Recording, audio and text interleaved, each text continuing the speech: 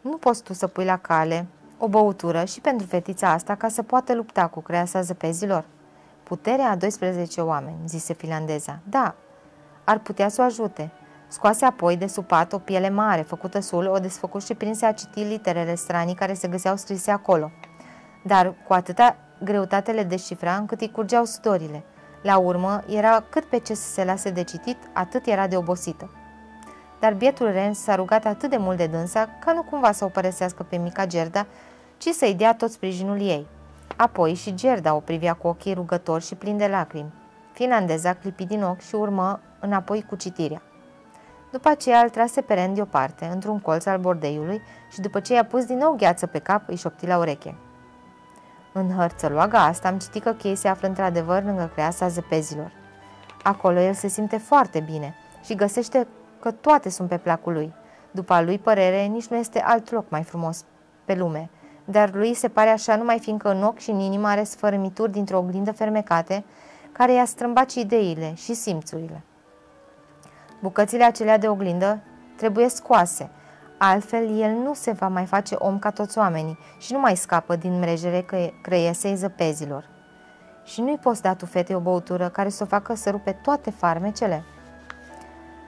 Mai multă putere decât are ea însăși nu-i poate da nimeni. Tu nu bași de seamă că și animalele și oamenii îi cad la picioare și o slujesc și cât a putut ea să îndure, să plece cu picioarele goale din oraș unde s-a născut și să străbată așa o jumătate din lumea întreagă. Puterea este în inima ei, fiindcă e o copilă nevinovată și plină de bunătate. Dacă nu putea ea singură să ajungă la creasa zăpezilor și să scoată cele două bucățele de oglindă care i-au pricinuit tot răul, apoi nici eu nu-i pot fi, de niciun folos. Tu, renule, trebuie să o duci până la poarta grădinii de acolo și să o lași drept în fața tufișului cu fructe roșii din mijlocul zăpezii. Și acum pornește-o de grabă și vezi de nu te opri în drum ca să stai la taifas cu renii pe care îi vei întâlni. Finlandeza o așeză pe Gerda deasupra renului, care o șterse ca săgeata. Stai, zise Gerda, mi-am uitat mânușile și ghetuțele. Renul însă nu s-a mai oprit, ci merse într-una până la tufanul cu fructe roșii. Acolo o lăsă pe Gerda. După ce o sărută, plânse cu șiroaie de lacrimi și își l-a rămas bun de la fetiță. Apoi porni înapoi, iute ca vântul.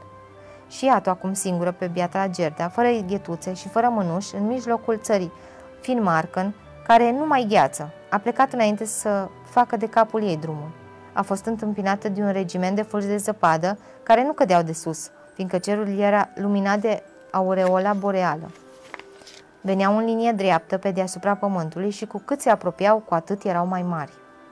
Își aminti de alți fulgi pe care îi cercetase altădată cu lupa și aceia erau mari și făcuți cu multă simetrie. Aceștia erau și mai mari și păreau că au viață în ei. Erau avangardele armatelor creesei zăpezilor. Unii semănau cu niște porci, porci mistreți, alții aduceau cu un nod de șerpi încolciți, scoțând capetele prin toate părțile – cei mai mulți parcă erau niște urși grași cu părul zburlit. Toți însă erau de o albiață orbitoare. Atunci Gerda a început să zică, tatăl nostru, în vreme ce se închina, își vedea răsuflarea înghețând, așa de frig era. Încetul cu încetul însă, din răsuflarea ei, prin sera lua ființă niște îngerași mici, care, îndată ce cădeau pe pământ, creșteau văzând cu ochii. Toți aveau cască pe cap, erau înarmați cu lănci și scuturi. Când a isprăvit fetița de spus tatăl nostru, s-a pomenit cu un regiment întreg de îngeri. Îngerii se luară la luptă cu fulgi de zăpadă, îi tăiară cu lăncile și streviră în mic de bucăți. Mica Gerda își lua inima în din și merse înainte. Îngerii o mângâiau pe mâini și pe picioare ca să nu-i înghețe, se apropie de palatul creesei zăpezilor. Ei, acum ar trebui să știm ce făcea Chei. Nici nu se gândea la Gerda și habar n-avea că ea se afla acolo.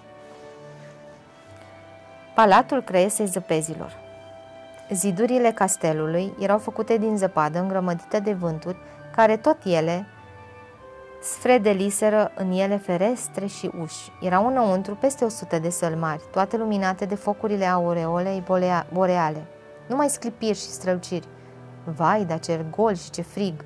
Niciodată nu se dădeau serbări în acea locuință regală. Și cu toate acestea n-ar fi fost lucru mare dacă ar fi chemat la un bal urși albi care ar fi dansat cadrilul cu bună cuvință și a căror seriozitate s-ar fi potrivit acolo. Nu erau primite nici vulpile albe din vecinătate, Nu era îngăduit domnișoarelor din lumea lor să se adune mai multe, să stea de vorbă și să se critique, cum se întâmpla adesea la curtea multor suverani. Nu, totul era vast și pustiu, în acel palat al creiesei zăpezilor și lumina aurorei boreale care sporia și se micșorea și apoi iar creștea, totdeauna în aceeași măsură, era ea însăși foarte rece. În cea mai mare dintre săli era un lac înghețat și sfărâmat în mii și mii de bucăți. Bucățile erau toate la fel de mari.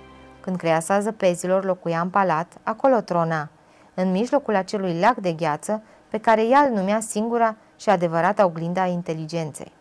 Micul chei era albastru, ba chiar aproape negru de frig. Nu-și dădea seama însă. Cu o sărutare creasa zăpezilor îi luase tremurul și apoi inima lui nu era de gheață? Ținea în mână câteva din sfărămiturile lacului înghețat și se juca tocmai cum se făcea cu cărțile de joc. Căuta să împlinească figurile cele mai grele și mai neobișnuite. Acesta era marele joc al deșteptăciunii, mai greu decât jocurile chinezești.